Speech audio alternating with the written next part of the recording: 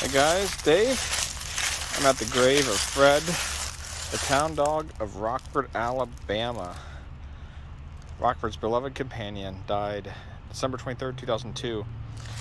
Um, Fred, he kind of got adopted as a local mascot in 1993 when he won the won the hearts of the town's residents.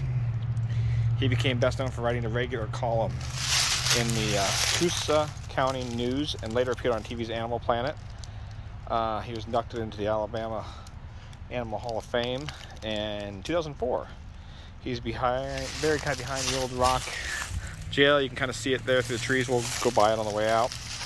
And people, I guess, like I said, from all over the country stop by and pay their respects. So here is the town dog. I think he just kind of showed up in town one day and didn't leave, and everybody kind of took care of him.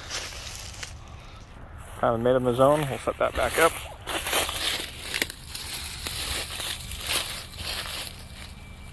There we go. It's better. Quick little walk around here since there's anything on the backside. Plain stone on the backside.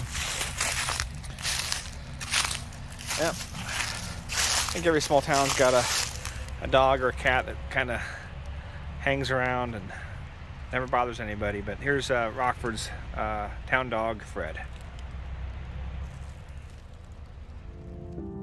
Hey guys, thanks for watching the video. Hope you enjoyed it. Uh, I post four or five times a month, usually just cemetery videos, uh, the Goonies content, as well as just my travels, exploring, etc. So uh, if you take a few seconds and just uh, hit that little subscribe button, that would be great, uh, so you don't miss anything coming up. And in the meantime, here's a few more uh, fun videos that I hope you'll enjoy.